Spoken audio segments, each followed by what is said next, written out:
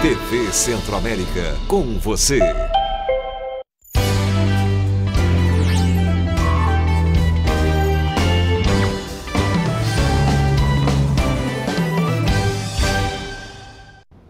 Olá, bom dia Mato Grosso. Viu aí? Começamos diferente, né? Para você que está esperando há um tempão, estamos de casa nova, ó. Cheirinho novo, amigo. Tudo novo nesse Bom Dia Mato Grosso que está começando agora, né? Tinha gente aí contando nos dedos, calculando, né? Dizendo que tantos estados já estavam e nós não estávamos ainda. Olha que bonito que ficou, cara. Olha aqui, ó. Vou, vou sair da frente aqui, aí, ó. Olha lá, ó. Bonita a casa, hein? Estamos chegando de casa nova, recheado de informações para vocês, para ficarmos juntos até as até às sete e meia da manhã. E você que mandava zap pra gente aí, dizendo, olha Anderson, só faltam quatro estados, vocês estão entre os quatro, né? Até às sete, né? Até às sete da manhã, estamos dizendo aqui. Aí, coisa nova, 23 graus a temperatura lá em Denise. A gente vai ficar mudando aí, ó, a temperatura e também é, intercalando com a hora certa, né lá? Feliz Natal, 23. Vamos ficar assim agora, para que você, espectador fiel do Bom Dia, fique com a gente, acompanhando sempre as principais notícias do nosso estado, nesse cheirinho de casa nova aqui, né? Muito legal. Vamos andar para cá então. Pra... Hoje eu vou passear bastante. Será que eu faço 20 minutos de abertura hoje, preparado na rede social? Não, né? Vamos mostrar o hashtag, então eu quero participar da abertura do Bom Dia. Vamos lá. Acordando você nessa madrugada. Vamos ver, olha como o pessoal estava ansioso pela casa nova. Dá só uma olhada nessa mensagem aí. Faltam duas horas para começar o Bom Dia. Falta uma hora para começar o Bom Dia. Faltam 10 minutinhos para começar o Bom Dia. O Bom Dia está no ar, amigo de Casa Nova. Ela não colocou o nome, ou ele não colocou o nome ali. Que ansiedade, hein? Estava mais ansioso do que nós aqui. Obrigado pelo carinho, obrigado pela essa fidelidade, você, espectador fiel. Vá mandando sua mensagem aí, a hora pintou agora, lá, 5 e 2. Poste, comente, compartilhe. Diga o que você achou da nossa casa nova. Canequinha também, ó, compondo o cenário aqui, ó. Tudo igual. Espaço novo para você, né? Enfim, mas as notícias continuam sempre em primeira mão e a gente vai continuar movimentando a nossa equipe toda ao vivo nessa madrugada. Já está todo mundo a postos para nos contar as principais notícias do dia. Vamos lá então, Brígida Mota, ao vivo para a gente, tem as informações com a Ronda da Madrugada. Brígida, mais uma vez, bom dia para você, bom trabalho. Oi, Anderson, bom dia. Um bom dia para você que nos acompanha. Uma abençoada sexta-feira para você, tudo de bom. Madrugada bem tranquila, já que você sabe que a nossa equipe está nas ruas desde a meia-noite acompanhando toda a movimentação policial. Agora nós falamos ao vivo aqui em frente da Central de Flagrantes de Cuiabá, onde o movimento é muito tranquilo. Há mais de três horas não é feito um registro de ocorrência. Assim foi durante toda a madrugada na Grande Cuiabá, sem registros de acidentes, nem homicídios nem mesmo latrocínio. Foi um plantão bem tranquilo. Mas a polícia trabalhou, hein? Teve apreensão de droga na Grande Cuiabá. A polícia descobriu um ponto onde estaria sendo feita a distribuição de drogas. E lá, a polícia encontrou quase 300 porções de substância parecida com maconha. Três mulheres e dois homens foram presos em flagrante. Todos os detalhes dessa ocorrência eu trago daqui a pouco aqui no Bom Dia Mato Grosso, em Anderson. Tá certo, Brígida. Obrigado por enquanto pelas informações aqui. É, daqui a pouco a Brígida volta e a galera tá bombando, tá elétrica hoje. O pessoal tá vibrando com a casa nova aqui, né? Vamos dar uma olhada aqui então no nosso zap, zap em tempo real, olha lá. Hashtag Bom Dia MT já está na casa nova, parabéns, muito linda. A Toninha maravilhosa lá de Barra do Bugres. Essa é fiel, né? Espectadora fiel do Bom Dia. Obrigado, Toninha. Um beijo no coração. O pessoal tá aqui bombando, interagindo com a gente. Eu não consigo nem. Hoje tá difícil, hein? Hoje tá difícil de, de clicar numa, numa mensagem aqui do Zap para abrir, para colocar. Que bom, que bom que você está acordando com a gente de madrugada e nos ajudando a fazer o bom dia, né? Então vamos lá para Sinop agora também ao vivo, depois eu mostro mais mensagens do nosso Zap aqui. Quem está nos chamando é a Poliana Mas. Bom dia, Poli, bom trabalho.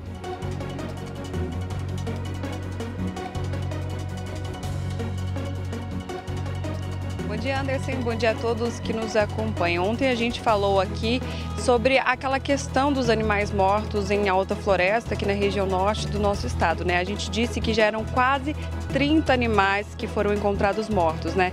Pois é, infelizmente, agora sim já computamos 30 animais mortos, sendo 29 cachorros e um gato, viu? E até o momento ninguém foi preso, a polícia continua investigando esse caso e daqui a pouquinho a gente vai trazer uma entrevista, um vídeo que uma das voluntárias do grupo de proteção Amamos os Animais de Alta Floresta gravou pra gente falando sobre essa situação e a gente continua aqui pedindo que as pessoas ajudem com algum tipo de informação que possa levar até essa pessoa que está fazendo essa barbaridade por lá, Anderson. Que absurdo, Poliana Mato. Total absurdo. Eu não vejo a hora dessa história estar sendo é, desvendada pela polícia, ser resolvida pela polícia, né? Daqui a pouco você volta com os detalhes. É, e olha só, vamos ver que horas são agora? Vou ter que acertar o meu relógio aqui. 5 e 5 da manhã, tá certinho ali, ó. 5 e 5 da manhã. E dá só uma olhada, ah, por que a gente tem tanta preocupação é, com situação de violência, principalmente essa história de Alta Floresta? Olha só esse hashtag quero participar da abertura do Bom Dia. Hashtag Bom Dia MT. O Bolt é seu fã. Parabéns pelo seu trabalho. Tá vendo? Olha lá. Alô, Bolt.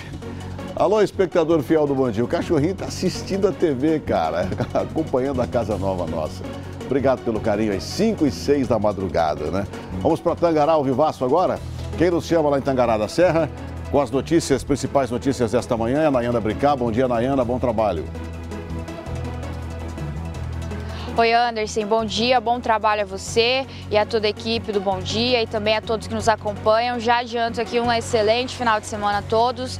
Olha só, aqui em Tangará nós falamos sobre um assunto que acontece em outras cidades do estado também, Alta Floresta. Já faz uns dias que nós estamos falando sobre envenenamento de cães e aqui em Tangará está acontecendo isso e os moradores estão muito amedrontados. Muitos desconfiam que esse envenenamento de cães tem a ver com o arrastão que aconteceu no último final de semana semana, já que eles acreditam que os suspeitos estariam envenenando os animais para poder entrar nas residências. Daqui a pouco eu trago mais detalhes desse assunto, Anderson. Meu Deus do céu, essa história está ganhando uma proporção terrível, né?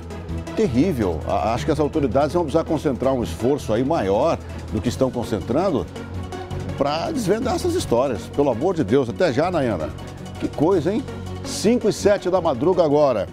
Deixa eu mostrar um zap em tempo real aqui, deixa eu dar uma olhada aqui no que é que você está mandando para a gente nessa madruga. Bom dia, Anderson, que elegância, casa nova, vocês todos muito elegantes também.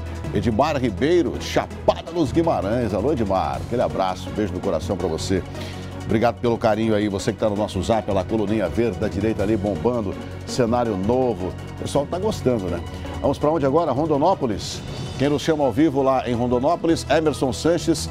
Bom dia, Emerson. Bom trabalho.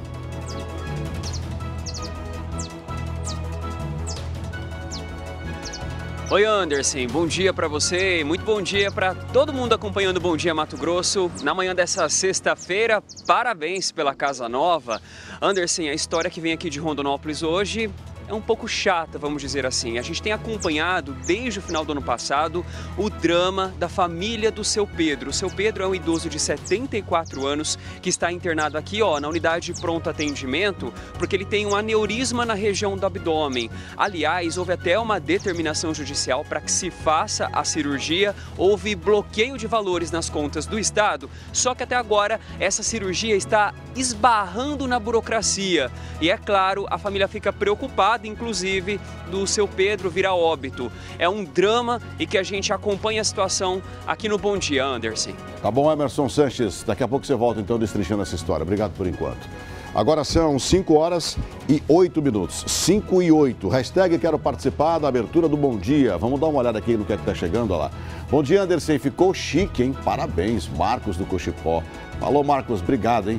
Ele diz assim: não é possível que nenhuma câmera de monitoramento não tenha é, pego uma imagem né, para pegar esses criminosos de animais.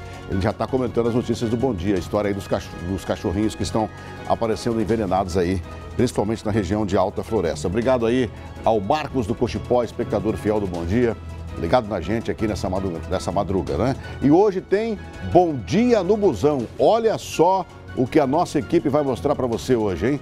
A nossa equipe entrou no busão e acompanhou uma das linhas que fazem o transporte coletivo aqui da capital. Já já o Leandro Maia e a equipe dele vão estar nessa reportagem aí e você vai saber o que foi que eles encontraram e as pessoas que ele ouviram no busão, né? Bom dia no busão, já já. Fique ligado aí para você acompanhar. Né? O Bom Dia do Busão é um quadro que bomba muito, as pessoas direto mandam para a gente e pedem para que a gente acompanhe aí as histórias que a gente encontra dentro dos ônibus. Hashtag quero participar da abertura do Bom Dia.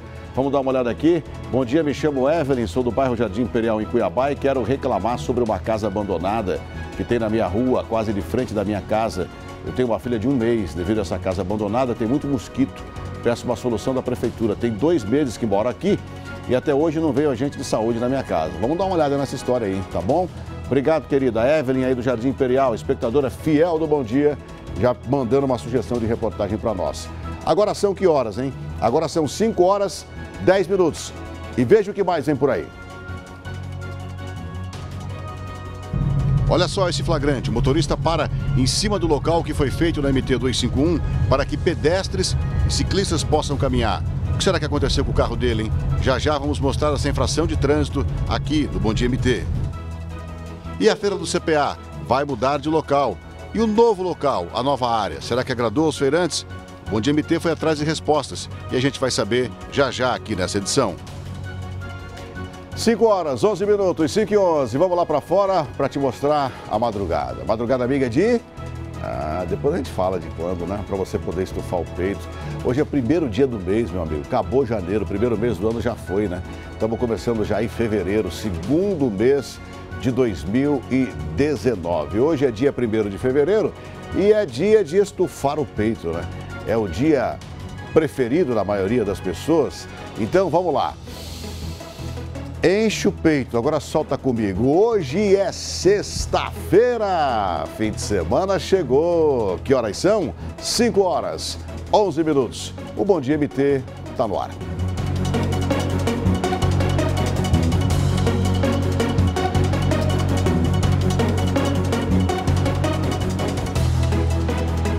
Legal, né? Casa nova, cheirinho de tudo novo, enfim, né?